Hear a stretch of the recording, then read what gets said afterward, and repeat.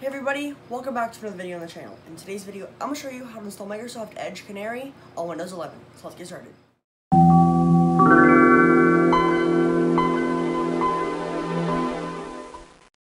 Alright, so what we want to do is go into Google Chrome and go to this link right here.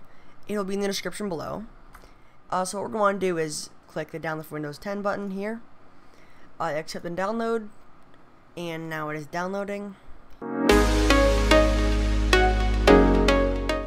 We go. We've successfully installed Microsoft Edge Canary. Alright, that's it for today's video. I hope you guys enjoyed. If it helped you, please leave a like, subscribe, comment down below, share with your friends, and until next time, goodbye.